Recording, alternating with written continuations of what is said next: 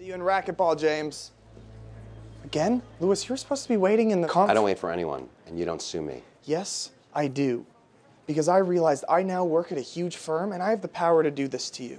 Now we can negotiate a settlement unless, of course, you don't think you can handle me. You really want to embarrass yourself with your mother watching?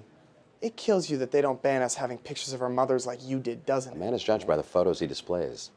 You have a photo of yourself. And now you're making my point for me. You don't intimidate me anymore, Louis. Really? I know you, Harold.